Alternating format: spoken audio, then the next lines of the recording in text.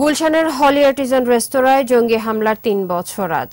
দ্রুত বিচার ট্রাইব্যুনালে চলছে বিচার কাজ।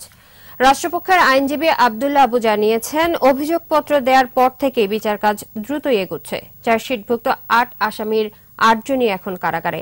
আরও জানাচ্ছেন আহমেদ বাবু। পহেলা জুলাই দুই সন্ধ্যার ঠিক পরপরই গুলশানের হলি আর্টিজন রেস্তোরাঁয় গোলাগুলি। গুলিবিদ্ধ হয়ে নিহত হন বনানী থানার ওসি সালাউদ্দিন আহমেদ। পুলিশের সহকারী কমিশনার রবিউল ইসলাম। জঙ্গিরা ভিতরে ঢুকে জিম্মি করে সবাইকে।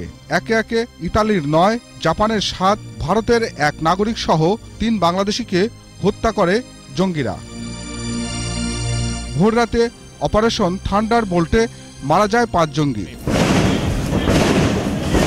ঘটনার প্রায় দুই বছর পর চার্জশিট দেয় পুলিশের কাউন্টার টেরোরিজম ইউনিট। ঘটনার দিন এবং পরবর্তীতে বিভিন্ন অভিযানে তেরো জঙ্গি নিহত হয়। চার্জশিট থেকে তাদের নাম বাদ দেওয়া হয়।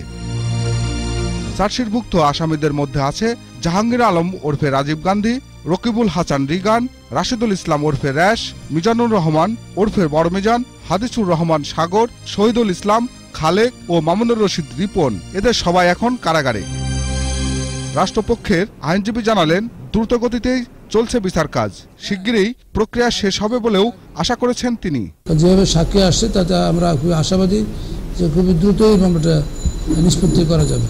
এবং সত্যিকারের যারা ঘটনার যারা সম্পৃক্ত তাদেরও ইনশাল্লাহ শাস্তির ব্যবস্থা হবে। মামলা প্রমাণ করে সব আসামির সর্বোচ্চ শাস্তি নিশ্চিত করা হবে বলে আশা করেছেন রাষ্ট্রপক্ষ। চারজন গ্রেপ্তার হয়েছে তারা এখন কাস্টডিতে আছে তাদের জামিন হয় নাই। আহমদ বাবু একুশে টেলিভিশন ঢাকা।